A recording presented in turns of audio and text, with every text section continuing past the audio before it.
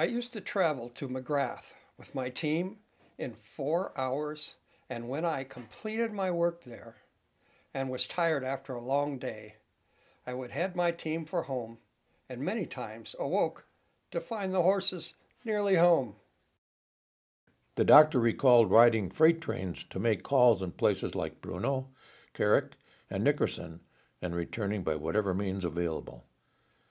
Fifty years later, Dr. James Slavin, dentist from Pine City, recalling Dr. Drudge, commented, This brings me back to when we were all happy in our new land. Dr. Shields stepped off the train in Sandstone. The grandparents to Chester Gustafson.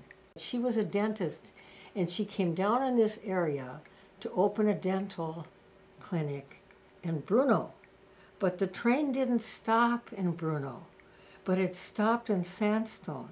So she came to Sandstone, and someone brought her a patient. Some man had been kicked in the mouth by a horse. And that's how she started her practice.